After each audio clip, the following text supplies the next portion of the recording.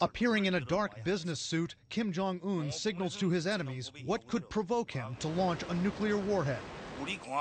Our republic will not use a nuclear weapon unless its sovereignty is encroached upon by any aggressive, hostile forces with nuclear weapons. But would Kim only play defense with nuclear weapons? His regime has declared it is expanding its nuclear force, quote, in quality and quantity. It doesn't appear that North Korea wants to slow down its nuclear weapons program. It appears that they want to make more nuclear weapons and they want to make those weapons more deadly. Tonight, U.S. officials tell CNN they're preparing for a provocation from North Korea. A U.S. intelligence official says it's expected the regime will again test a nuclear bomb.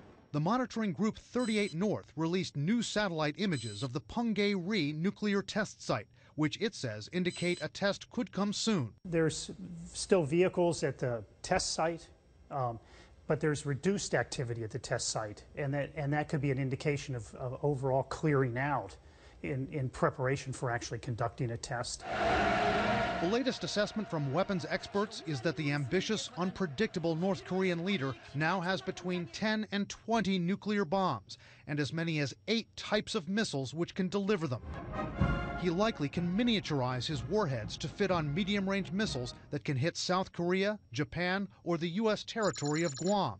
Analysts say they can probably fit a warhead onto a long range missile capable of hitting the U.S., but they haven't flight tested those missiles to survive re entry. The danger? Even when a North Korean test fails, this regime succeeds. Every time they uh, conduct a nuclear test, uh, they resolve a technical puzzle uh, or they overcome uh, a technical problem uh, which uh, they had before. This comes as Kim closes his Workers' Party Congress. Analysts say this event, following his bloody purges of top generals, crowns Kim's effort to shift power away from his military and toward himself. The military has been, for all intents and purposes, neutered within the, the leadership. The key positions of power within the leadership have been turned over multiple times. So I see it highly unlikely that the military can challenge Kim Jong un at this point. In fact, this Workers' Party Congress is seen as a sort of coronation for Kim.